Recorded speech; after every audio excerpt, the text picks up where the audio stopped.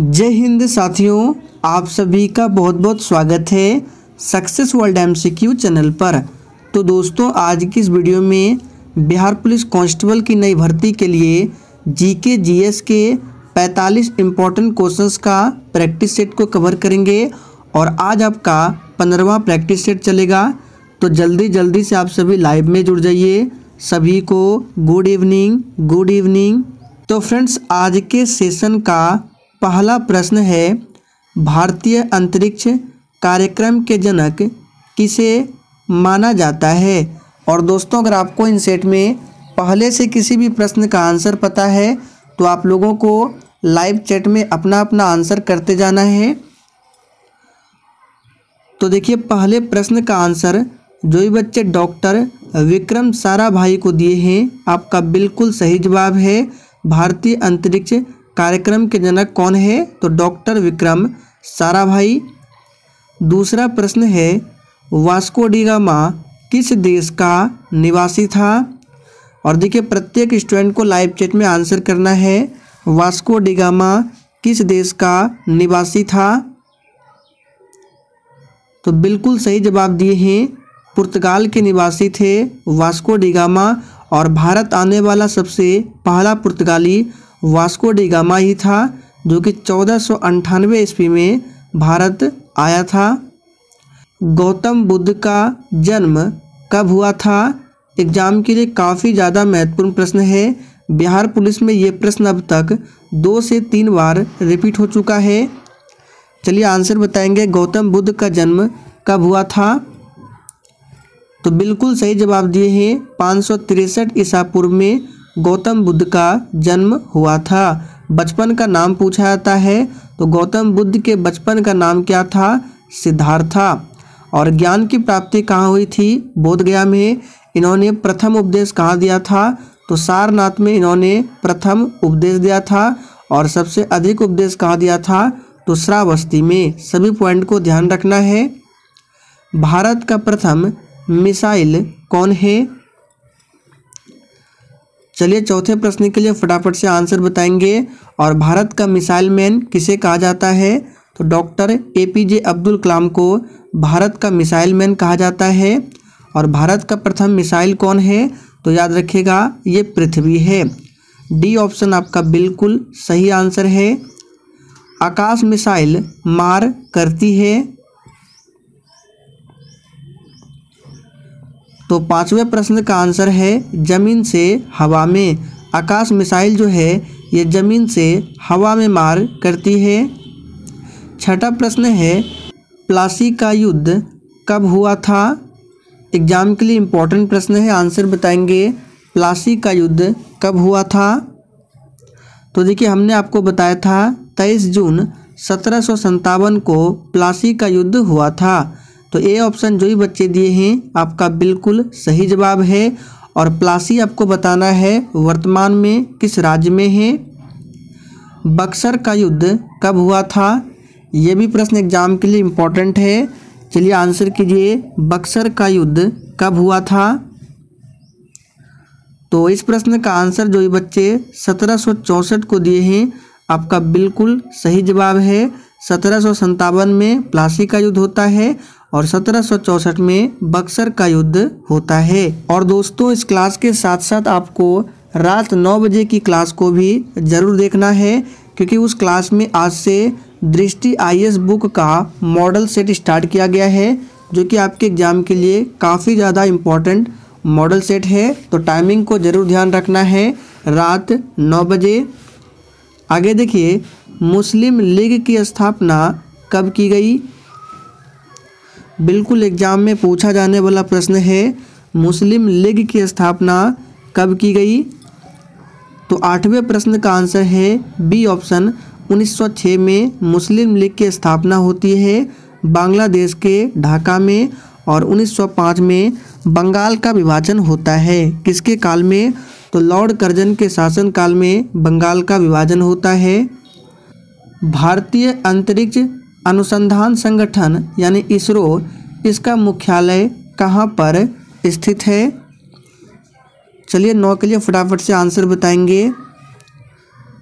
तो बिल्कुल सही जवाब दिए हैं। इसरो का मुख्यालय कर्नाटक की राजधानी बेंगलुरु में है और बेंगलुरु को सिलिकॉन सिटी के नाम से भी जाना जाता है। और इसरो के वर्तमान में अध्यक्ष कौन है? तो एस सोमनाथ है। इसको भी ध्यान रखना है। एस सोमनाथ इसरो के वर्तमान में अध्यक्ष है। हैदराबाद मूसी नदी के किनारे बसा हुआ है। कोलकाता हुगली नदी के किनारे बसा हुआ है। कौन एक टैंक रोधी मिसाइल है? तो देखिए, दसवें प्रश्न का आंसर है ए ऑप्शन नाग। ये जो है, एक टैंक रोधी मिसाइल है। प्रथम विश्व युद्ध कब से कब तक चला था। ये प्रश्न बिहार पुलिस में ऑलरेडी पूछा हुआ प्रश्न है। प्रथम, विश्व युद्ध कब से कब तक चला था? तो देखिए, आपके एग्ज़ाम में इस तरह से पूछा गया था कि प्रथम, विश्व युद्ध की शुरुआत कब हुई थी? तो शुरुआत होती है 1914 में और लास्ट 18 में। तो सही आंसर है सी ऑप्शन और द्वितीय, विश्व युद्ध उन्नीस से 1945 तो दोनों को ध्यान रखना है। अस्त्र मिसाइल कहाँ से कहाँ मार करती है? तो देखिए, अस्त्र मिसाइल जो है, ये हवा से हवा में मार करती है। कहाँ? तो हवा से हवा में। भारतीय मिसाइल कार्यक्रम के जनक किसे कहा जाता है? तो देखिए, इस प्रश्न का सही जवाब बिल्कुल सही आंसर है डॉक्टर एपीजे अब्दुल कलाम को, और मिसाइल मैन के नाम से भी जाना जाता है। असहयोग आंदोलन कब शुरू हुआ था? तो देखिए, असहयोग आंदोलन की शुरुआत होती है 1920 में, और समाप्त 1922 में असहयोग आंदोलन को वापस ले लिया जाता है।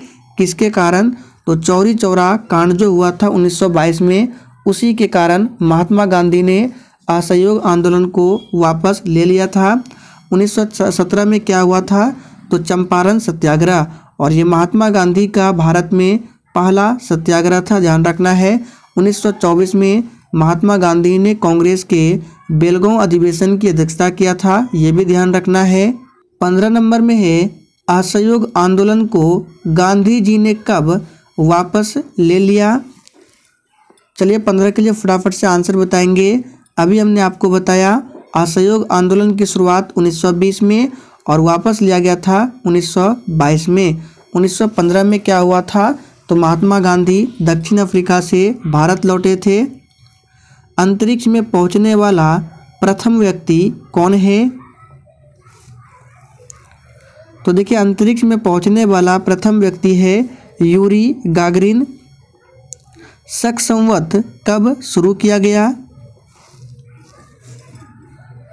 तो देखिए, ये प्रश्न बिहार पुलिस में पूछा हुआ प्रश्न है शक संवत कब शुरू किया गया? तो इसका सही आंसर है अठहत्तर ईस्वी में। ध्यान रखना है इम्पोर्टेंट है, पूछा जाता है, दागो और भूल जाओ के नाम से किस मिसाइल को जाना जाता है? तो अठारहवें प्रश्न का आंसर है डी ऑप्शन नाग को जाना जाता है। इस प्रश्न को आप सभी मार्क कर लेंगे। एग्ज़ाम के लिए काफ़ी ज़्यादा इम्पोर्टेंट है। एग्ज़ाम में पूछ सकता है, चीन की क्रांति कब हुई थी? चलिए फटाफट से आंसर बताएँगे, चीन की क्रांति कब हुई थी? तो उन्नीसवें प्रश्न का आंसर याद रखिएगा। 1911 में चीन की क्रांति हुई थी, ध्यान रखना है। 1905 में क्या हुआ था? बंगाल का विभाजन हुआ था। पृथ्वी मिसाइल का प्रथम परीक्षण कब हुआ? तो बीसवें प्रश्न का आंसर क्या है? सी ऑप्शन 1988 में पृथ्वी मिसाइल का प्रथम परीक्षण हुआ। अंतरिक्ष में जाने वाली प्रथम महिला कौन है? तो देखिए, अंतरिक्ष में जाने वाली प्रथम महिला का नाम है वेलेंटिना तेरेस्कोवा तो ए ऑप्शन जो ही बच्चे दिए हैं, आपका बिल्कुल सही आंसर है। पानीपत का प्रथम युद्ध कब लड़ा गया? चलिए बाईस के लिए फटाफट से आंसर बताएँगे। तो देखिए, पानीपत का तीन युद्ध होता है। प्रथम युद्ध 1526 में बाबर और इब्राहिम लोदी के बीच, दूसरा पंद्रह में होता है अकबर और हेमू के बीच, तीसरा सत्रह सौ में होता है। आप लोग कमेंट करके बताएँगे, तीसरा युद्ध किसके किसके बीच में हुआ था? तो सही जवाब क्या है? 1526 प्रथम भारतीय उपग्रह आर्यभट्ट कब छोड़ा गया? ये प्रश्न भी आपके बिहार पुलिस एग्ज़ाम में पूछा गया प्रश्न है। प्रथम भारतीय उपग्रह जिसका नाम है आर्यभट्ट, इसको कब छोड़ा गया? तो याद रखिएगा 1975 में छोड़ा गया था। तो राइट आंसर तेईस का डी है। चंद्रमा पर मानव भेजने वाला प्रथम देश कौन है? तो देखिए दोस्तों, चंद्रमा पर मानव भेजने वाला प्रथम देश है यूएसए बी ऑप्शन आपका बिल्कुल सही जवाब है। फ्रांस की क्रांति कब हुई थी? वेरी वेरी इंपॉर्टेंट प्रश्न है। मार्क करके रखना। बिल्कुल एग्ज़ाम में पूछा जाने वाला प्रश्न है और दो से तीन बार पूछा भी गया है। फ्रांस की क्रांति कब हुई थी? तो पच्चीसवें का आंसर जो ही बच्चे सत्रह सौ नवासी को दिए हैं, आपका बिल्कुल सही जवाब है। आप लोग कमेंट करके बताएँगे, रूसी क्रांति कब होती है? देखते कितने बच्चे आंसर करते हैं। सत्रह में क्या हुआ था? तो प्लासी का युद्ध, तेईस जून सत्रह और सत्रह को बक्सर का युद्ध। सतीश धवन अंतरिक्ष केंद्र कहाँ पर स्थित है? चलिए छब्बीस के लिए आंसर बताएँगे फटाफट से, और जिसने अभी तक सेशन को लाइक नहीं किया है, फटाफट से आप सभी सेशन को लाइक करें। तो इसका सही जवाब है ऑप्शन डी, श्रीहरिकोटा। सतीश धवन अंतरिक्ष केंद्र है, और श्रीहरिकोटा कहाँ है? तो आंध्र प्रदेश में है। विक्रम साराभाई, अंतरिक्ष केंद्र कहाँ स्थापित है? तो देखिए, सतीश धवन अंतरिक्ष केंद्र है श्रीहरिकोटा में और विक्रम साराभाई अंतरिक्ष केंद्र जो है, ये है त्रिवेंद्रम में। सर्वाधिक समय तक अंतरिक्ष में रहने वाले महिला कौन है? तो सर्वाधिक समय तक अंतरिक्ष में रहने वाली महिला है क्रिस्टीना कोच। सी ऑप्शन आपका बिल्कुल सही जवाब है। रूस की क्रांति किस वर्ष हुई थी? अभी हमने आपसे ये प्रश्न पूछा था जो कि एग्ज़ाम के लिए इम्पोर्टेंट है, फ्रांस की क्रांति और रूस की क्रांति। तो रूसी क्रांति कब हुई थी याद रखना है? 1917 में रूस की क्रांति होती है। तीस नंबर में है, अर्जुन क्या है? चलिए यहाँ पे चारों ऑप्शन है, बताएँगे फटाफट से। अर्जुन क्या है? तो देखिए इस प्रश्न का सही जवाब है, एक युद्धक टैंक है। पानीपत का तीसरा युद्ध कब लड़ा गया? तो देखिए, पानीपत का तीसरा युद्ध हुआ था 1761 में। किसके किसके बीच में हुआ था? तो मराठा और अफगान के बीच में लड़ा गया था पानीपत का तीसरा युद्ध। ताशकंद समझौता कब हुआ था? देखिए, एक पूछा जाता है शिमला समझौता, जो कि उन्नीस सौ बहत्तर में हुआ था। लेकिन यहाँ पे ताशकंद समझौता आपको बताना है। तो बत्तीस का आंसर क्या होगा? उन्नीस सौ छियासठ में। 1966 में ताशकंद समझौता होता है। हिजरी संवत का प्रारंभ कब हुआ? तो देखिए, आपको शक संवत, हिजरी संवत, इन सभी को याद रखना है। एग्ज़ाम में पूछा जाएगा। तो हिजरी संवत का प्रारंभ हुआ था 622 ईस्वी में। बी ऑप्शन सही जवाब है और शक संवत अठहत्तर ईस्वी में। दोनों को याद रखना है। तेजस क्या है? चलिए आंसर कीजिए, तेजस क्या है? तो देखिए, तेजस जो है, ये एक लड़ाकू विमान का नाम है। तो सी ऑप्शन आपका सही जवाब है। पानीपत का द्वितीय युद्ध कब लड़ा गया? पानीपत का दूसरा युद्ध अकबर और हेमू के बीच में हुआ था और ये लड़ा गया पंद्रह में। प्रथम अंतरिक्ष पर्यटक कौन है? तो प्रथम अंतरिक्ष पर्यटक है डेनिस टीटो। डी ऑप्शन आपका बिल्कुल सही जवाब है। तराइन का द्वितीय युद्ध कब हुआ? तो देखिए तराइन का पहला युद्ध हुआ था ग्यारह में, पृथ्वीराज चौहान और मोहम्मद गोरी के बीच में, और दूसरा युद्ध हुआ था ग्यारह में। द्वितीय विश्व युद्ध कब से कब तक लड़ा गया? तो प्रथम विश्व युद्ध 1914 से 18 और दूसरा विश्व युद्ध उन्नीस से 45 अंतरिक्ष में जाने वाला प्रथम भारतीय कौन है? तो उनचालीस का आंसर जो भी बच्चे लाइव चैट में राकेश शर्मा को दिए हैं, आपका बिल्कुल सही जवाब है। राकेश शर्मा अंतरिक्ष में जाने वाला प्रथम भारतीय है। चंद्रमा पर मानव को पहुँचाने वाला प्रथम अंतरिक्ष यान कौन है? तो आप लोगों ने इसके बारे में सुना होगा, अपोलो 11 है। डी ऑप्शन आपका सही आंसर है। गांधी इरविन समझौता कब हुआ था? ये प्रश्न भी आपके एग्ज़ाम में पूछा हुआ प्रश्न है। गांधी इरविन समझौता कब हुआ था? तो याद रखिएगा, ये हुआ था 1931 में। क्रिप्स मिशन भारत कब आया था और 1930 में क्या हुआ था? तो सभी ने अवज्ञा आंदोलन ध्यान रखना है। चलिए बताएँगे, क्रिप्स मिशन भारत कब आया था?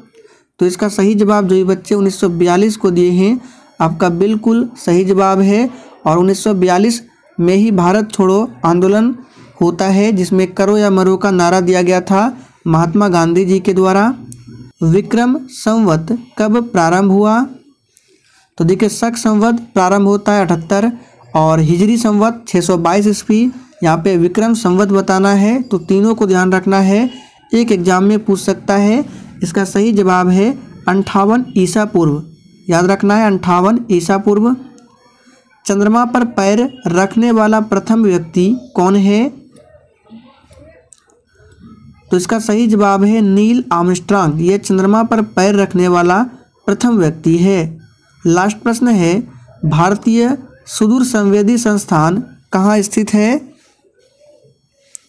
तो इस प्रश्न का सही जवाब है, देहरादून में स्थित है। तो दोस्तों, आज के लिए इतना ही। सेशन पसंद आया हो तो सभी लोग सेशन को दिल से ज़रूर लाइक करें।